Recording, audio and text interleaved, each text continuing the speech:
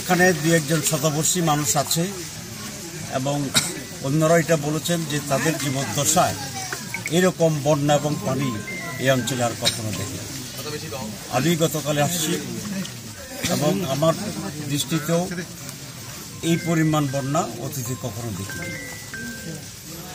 পুরা চোদ্দ গ্রামে কয়েক লক্ষ লোক এখন পানিবন্দী এবং মানুষের বাড়ি, কাচারি, স্কুল মাদ্রাসা মিলে প্রায় শতাধিক আশ্রয়কেন্দ্র স্থাপন করা হয়েছে।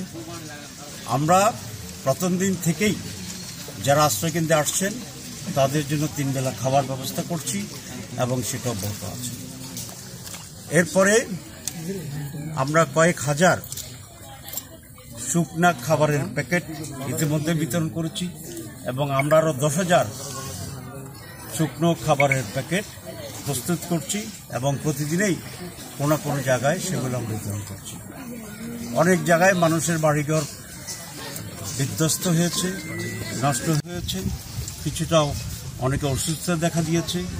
সব মিলে একটা অত্যন্ত ভয়াবহ পরিস্থিতি যেটা অতীতের সকল রেকর্ডকে ভঙ্গ শুধু আমরাই প্রাণ তৎপরতা করছি না, আলহামদুলিল্লাহ চোদ্দ গ্রামের সকল মানুষের যার যার সামর্থ্য আছে, সেটা নিয়েই এই দুর্গত মানুষের পাশে আজকে দাঁড়িয়েছে কিন্তু যে পরিমাণ ক্ষতি এবং যদি এটা কন্টিনিউ করে, তাহলে সুতরাং বেসরকারিভাবেই শুধুমাত্র এই তৎপরতা দিয়ে এটা টিকে রাখা যাবে না।